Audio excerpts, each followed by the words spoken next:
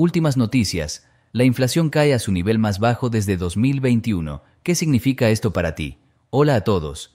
Bienvenidos a nuestro canal. En el video de hoy, vamos a analizar las últimas noticias sobre la inflación, que ha caído a su nivel más bajo desde 2021. ¿Qué significa esto para ti y tu bolsillo? Hablaremos sobre el estado actual de la inflación, el impacto en el mercado laboral y cómo las decisiones del Banco de la Reserva Federal podrían afectar las tasas de interés y por ende tus finanzas. Así que, quédate con nosotros para entender cómo estos cambios pueden influir en tu vida cotidiana y qué estrategias puedes implementar para navegar en este entorno económico. Comencemos. Los datos más recientes que acaban de hacer públicos sobre inflación muestran que se está desacelerando. Desde que el Banco de la Reserva Federal declaró que la inflación era temporal a principios de 2021, tenemos la tasa de inflación más baja hasta la fecha.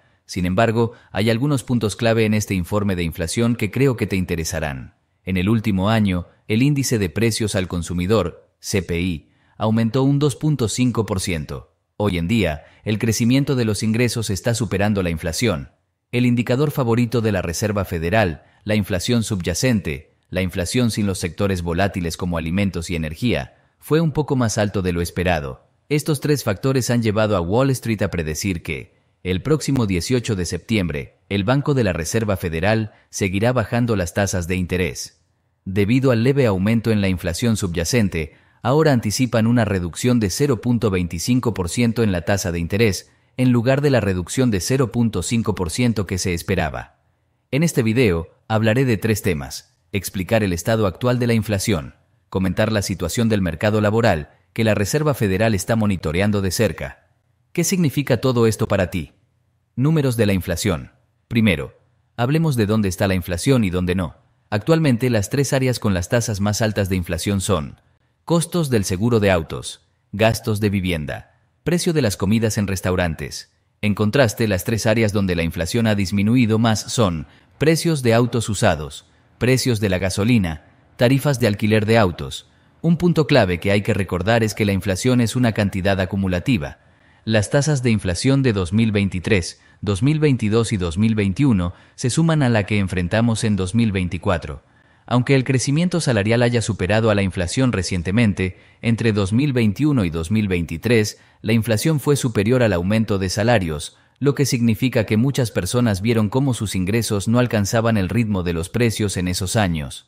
Aunque el crecimiento salarial de 2024 es ligeramente mayor que la inflación reportada, el efecto acumulativo de los precios hace que los consumidores no puedan comprar más que hace cinco años. Inflación real versus inflación reportada. La inflación real, o la que las personas experimentan a diario, puede ser diferente a la que reportan las cifras oficiales. Según los informes, los precios han subido menos del 25% en los últimos cinco años, pero la mayoría de las personas sienten que están gastando mucho más que eso en cosas básicas como comida y vivienda.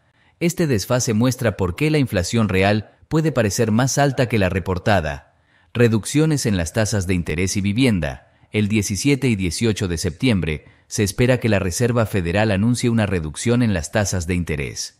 Esto podría bajar las tasas hipotecarias, lo que incentivaría a más personas a comprar casas, aumentando la demanda y posiblemente elevando los precios de las viviendas.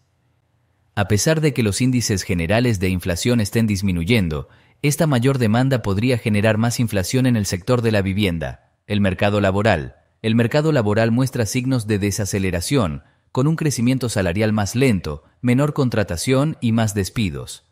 Aunque los salarios aún crecen más rápido que la inflación, la Reserva Federal podría bajar las tasas de interés para estimular el mercado laboral y evitar una posible recesión. Sin embargo, esto podría empeorar la inflación en sectores como el de la vivienda. ¿Qué significa esto para ti? Aunque nadie puede predecir con certeza el futuro del mercado, estar informado y comprender la dinámica económica aumenta tus posibilidades de aprovechar las oportunidades. Es crucial manejar tus finanzas sabiamente, educarte sobre estrategias de inversión y estar atento a los desarrollos financieros. Recuerda que las emociones son enemigas de la rentabilidad.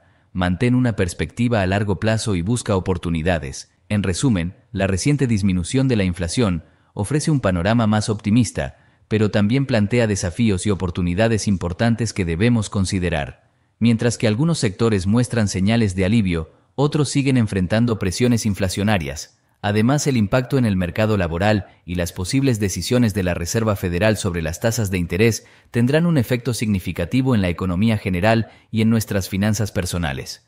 Mantenerse informado y actuar con prudencia es clave para tomar decisiones financieras inteligentes en este entorno en constante cambio. Si quieres estar al tanto de las últimas novedades del mundo financiero y aprender cómo aprovechar el mercado de valores, suscríbete a mi canal.